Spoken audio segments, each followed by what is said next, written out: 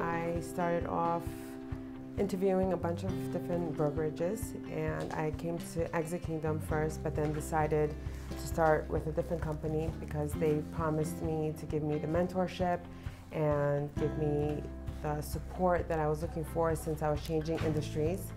And working there for a few months, I felt as if I wasn't getting the attention that I needed and seek. So I switched back to Exit, well, switched to Exit, and it has been night and day. Working with Exit has been an amazing experience. The support that I'm getting from all the brokers and management and all the agents in the office, I mean, I can go and ask anything and everyone's always available to help me.